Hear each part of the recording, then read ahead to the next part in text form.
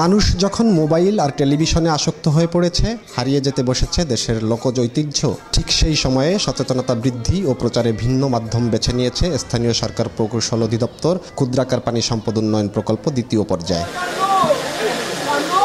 বৃহস্পতিবার গোপালগঞ্জের টুঙ্গিপাড়ায় রূপান্তরের পরিবেশনায় পটগান ও নাটক পরিবেশনার মাধ্যমে তুলে ধরা হয়েছে পানির সঠিক ব্যবহার ও সংরক্ষণের নানা দিক।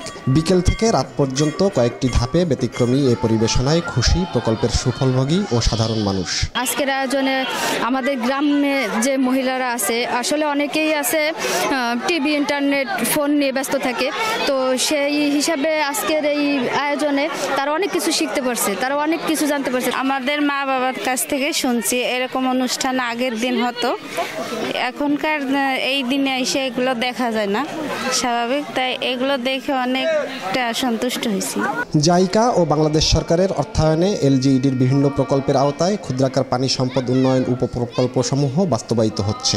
এতে উপকৃত হচ্ছেন পানি ব্যবস্থাপনা সমবায় সমিতির সদস্য জেলার কৃষক ও সাধারণ মানুষ। যেহেতু এটা গ্রামের বিষয় গ্রামের লোকজন অনেক পিছিয়ে আছে, শহরের তুলনায় অনেক পিছিয়ে আছে। অনেক কিছু অনেকে বোঝে না, যার কারণে এটা উন্নয়ন কর্মকাণ্ড তুলে ধরেছে, যার কারণে সবাই বুঝতে পারে যে এই সমিতি দেশকে আগায় নিয়ে যাচ্ছে, দেশের উন্নয়ন হচ্ছে, মানুষের জীবনযাত্রার মান বৃদ্ধি করছে।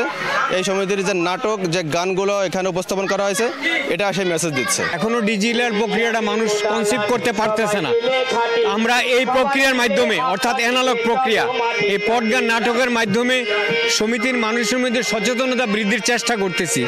যাতে তারা একটা দীর্ঘমেয়াদী সাস্টেনেবল পানি ব্যবস্থাপনা সমিতি তারা প্রতিষ্ঠিত করতে পারে। গোপালগঞ্জ জেলায় প্রকল্পটির বিস্তারিত কার্যক্রম তুলে ধরেন নির্বাহী প্রকৌশলী। সমিতিগুলোর বিভিন্ন পয়েন্ট এই নাটক এবং পটনাটক প- মানে প- পটগানের মাধ্যমে সমিতির লোকজনের সামনে উপস্থাপন করলে তারা আসলে এই অ্যাক্টিভিটিসগুলো বুঝতে পারবে এবং অতি সহজেই তারা এই- এই জিনিসগুলোকে আয়ত্ত করতে পারবে এবং সেই মোতাবেক তারা এই সমিতিগুলোকে সাজা মানে সাজাতে পারবে এবং নিজেদেরকে আরও আত্মনিবেদন করতে পারবে। সমিতির সদস্যদেরকে মোটিভেশন করে একটা শক্তিশালী পাপসার সমিতি গঠনের লক্ষ্যে আমাদের কিন্তু এই লোক মাধ্যম বা ঐতিহ্যবাহী যে যে পটগান, সেই পটগানের মাধ্যমে আমরা মানুষকে আমরা মোটিভেশন করার চেষ্টা করেছি। প্রকল্পটির আওতায় গঠিত পানি ব্যবস্থাপনা সমবায় সমিতি সমূহ তাদের প্রাতিষ্ঠানিক উন্নয়ন ও দরিদ্র সদস্যদের আর্থিকভাবে স্বাবলম্বী করেছে।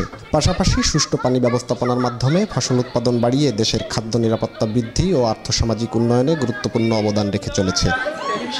জয়ন্ত শিরালি, সময় সংবাদ, গোপালগঞ্জ।